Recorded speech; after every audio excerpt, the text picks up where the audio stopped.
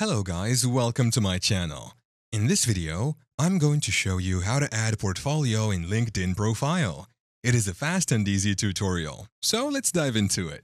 Can you add your portfolio to LinkedIn? The answer is yes. You can add your portfolio to LinkedIn, but it will have to be a link to your portfolio.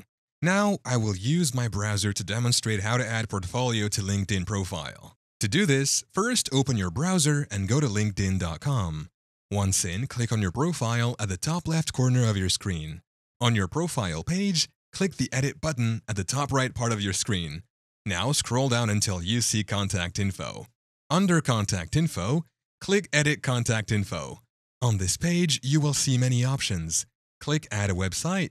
Next, paste the link to your portfolio here. Then below the link, click the drop-down then select Portfolio. Once done, tap Save. And that is how to add portfolio in LinkedIn profile. Here are a few suggestions. Make sure that your portfolio is up to date and showcases your best work. Use high quality images and videos to make your portfolio more visually appealing. Keep your portfolio concise and easy to navigate. Thank you for watching. If this video was helpful, please leave a like and subscribe to my channel for more videos like this. And click on that notification bell to never miss an update.